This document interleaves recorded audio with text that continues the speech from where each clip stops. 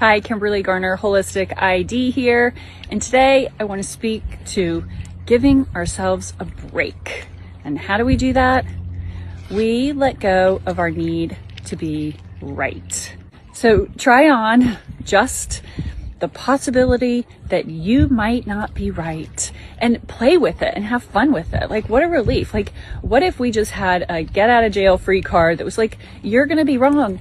Every day you're going to be wrong. It's like, oh, great. So I don't even have to try to be right. I don't have to try to do all this right. No, we don't. We can be wrong.